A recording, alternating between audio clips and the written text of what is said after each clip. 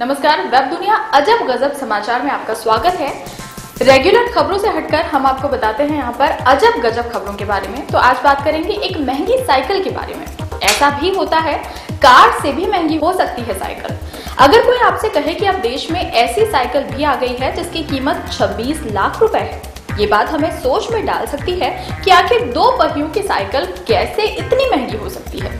दो पहियों के साइकिल की कीमत लाखों रुपए कैसे हो सकती है?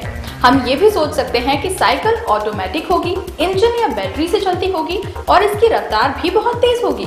पर जब आपसे कहा जाएगा कि इसे भी पैरों से चलाना होगा तो क्या सोचेंगे आप? इस संदर्भ में ये एक उल्लेखनीय बात है कि लग्जरी कार बनाने वाली कंपनी बुगाती ने चालीस हज़ार डॉलर कीमत की साइकिल तैयार की है। यानी पच्चीस लाख बयानवे हज़ार दो सौ रूपए।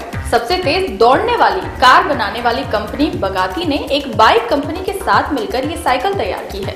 इस साइकिल की कीमत के हिसाब से जो खूबियाँ बताई गई हैं, उन्हें भी जान लीजिए। निर्माता कंपनी ने 26 लाख रुपए वाली इस साइकिल की सबसे बड़ी खूबी इसका हल्का होना बताया है। ये साइकिल मात्र 11 पाउंड, यानी 5 किलो वज़न की है। साइकिल का फ्रेम और बॉडी 95 फ़ीसदी रेनफोर्स कार्बन से बना है। रेनफोर्स कार्बन एक ऐसा पदार्थ है, जिसका इस्तेमाल हवाई जहाज़ की बॉडी बनाने के लिए किया जाता है, ताकि विमान कम से कम वज़न के हो।